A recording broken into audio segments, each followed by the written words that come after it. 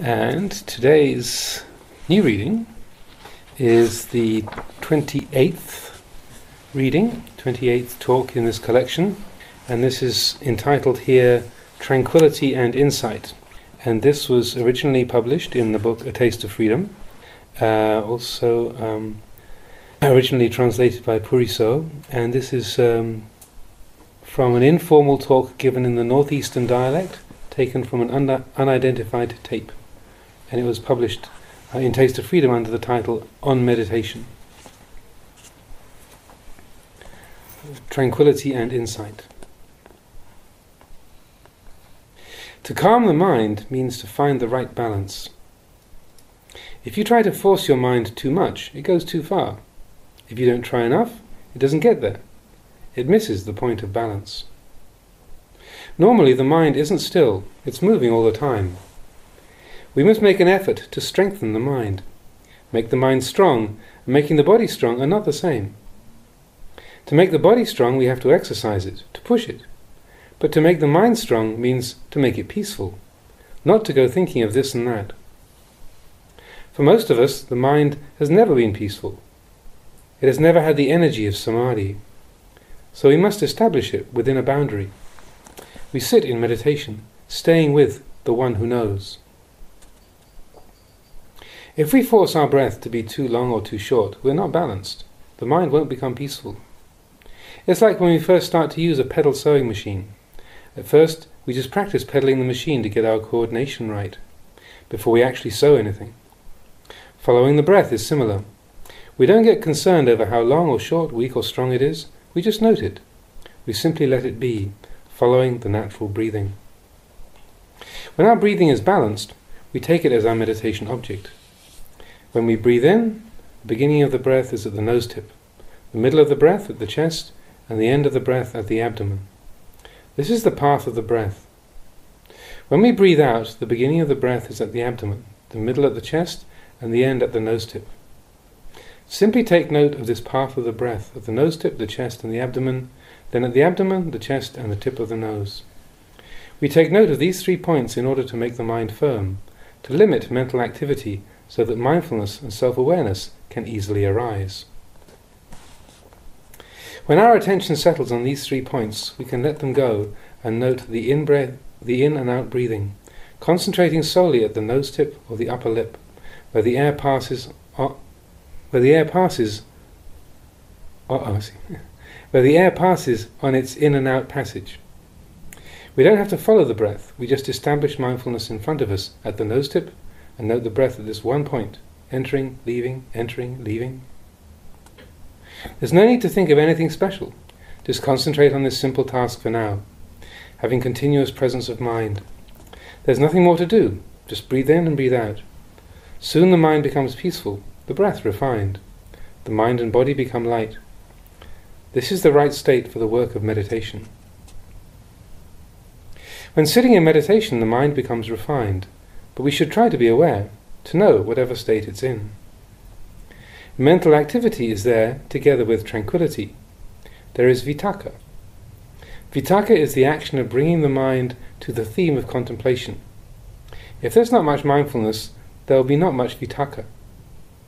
Then vichara, the contemplation around that theme, follows. Various weak mental impressions may arise from time to time, but our self awareness is the important thing. Whatever may be happening, we know it continuously. As we go deeper, we are constantly aware of the state of our meditation, knowing whether or not the mind is firmly established. Thus, both concentration and awareness are present. Having a peaceful mind does not mean that there's nothing happening. Mental impressions do arise. For instance, when we talk about the first level of, of absorption, we say it has five factors. Along with vitakka and vichara, piti arises with the theme of contemplation, and then sukha. These four things all lie together in the mind that is established in tranquility. They are as one state. The fifth factor is ekaggata, or one pointedness. You may wonder how there can be one pointedness when there are all these other factors going on as well. This is because they all become unified on that foundation of tranquility. Together, they're called a state of samadhi. They are not everyday states of mind. They are factors of absorption. There are these five characteristics, but they do not disturb the basic tranquility. There is vitakka, but it doesn't disturb the mind. Vichara, rapture, and happiness arise, but do not disturb the mind. The mind is therefore as one with these factors. The first level of absorption is like this. We don't have to call it first jhana, second jhana, third jhana, and so on. Let's just call it a peaceful mind. As the mind becomes progressively calmer, it will dispense with vitakka and vichara, leaving only rapture and happiness. Why does the mind discard vitakka and vichara?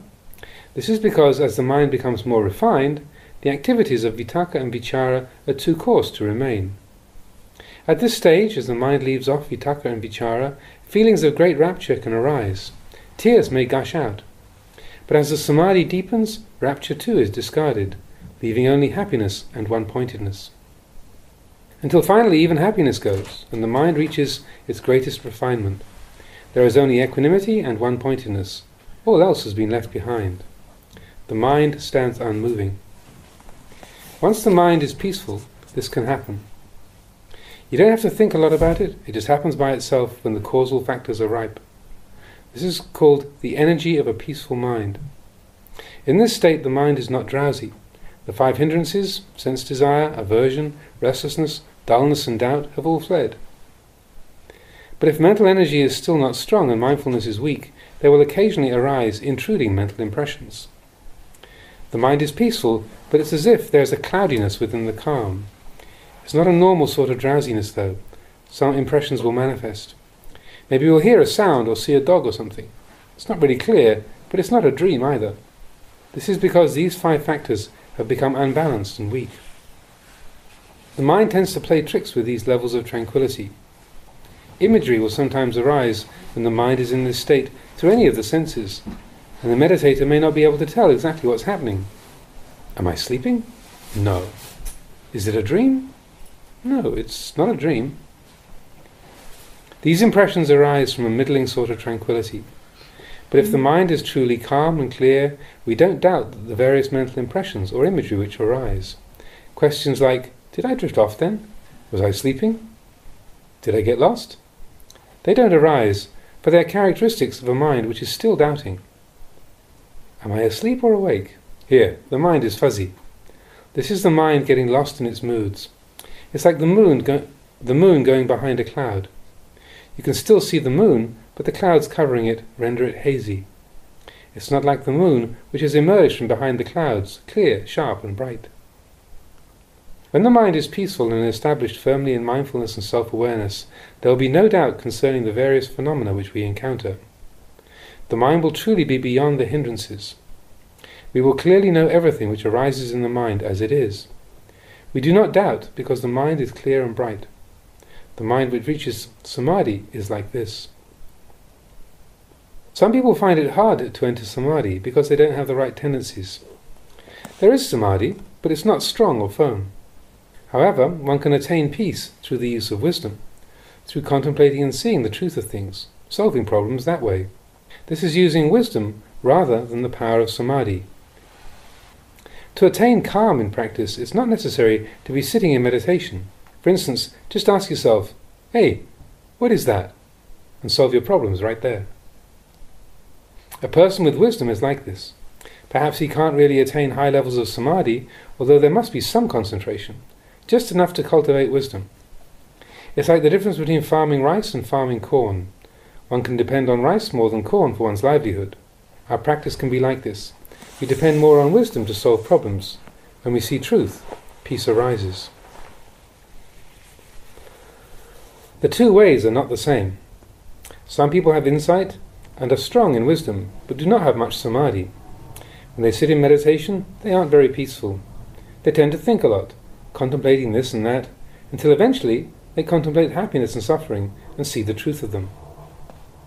Some incline more towards this than samadhi. Whether standing, walking, sitting, or lying, enlightenment of the Dhamma can take place. Through seeing, through relinquishing, they attain peace. They attain peace through knowing the truth, through going beyond doubt, because they've seen it for themselves. Other people have only little wisdom, but their samadhi is very strong.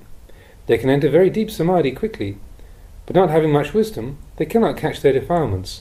They don't know them. They can't solve their problems. But regardless of whichever approach we use, we must do away with wrong thinking, leaving only right view. We must get rid of confusion, leaving only peace. Either way, we end up at the same place. There are these two sides to practice, but these two things, calm and insight, go together.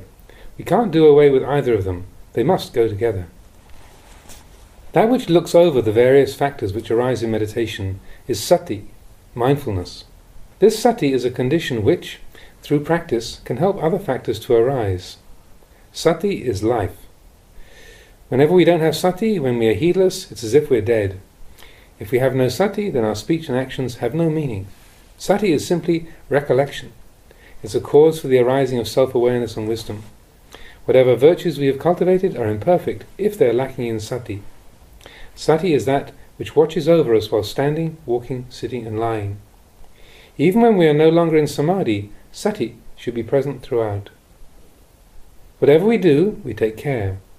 A sense of shame, that is, a wholesome sense of shame based on knowledge of cause and effect, rather than emotional guilt. A sense of shame will arise. We will feel ashamed about the things that we do which aren't correct. As shame increases, our collectedness will increase as well. When collectedness increases, heedlessness will disappear. Even if we don't sit in meditation, these factors will be present in the mind. And this arises because of cultivating sati. Develop sati. This is the quality which looks over the work that we're doing in the present.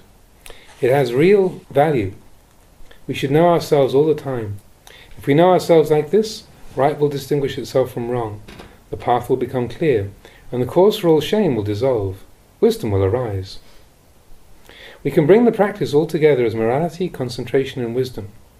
To be collected, to be controlled, this is morality. The firm establishment of the mind within that control is concentration. Complete overall knowledge within the activity in which we are engaged is wisdom. The practice in brief is just morality, concentration, and wisdom. Or, in other words, the path. There is no other way.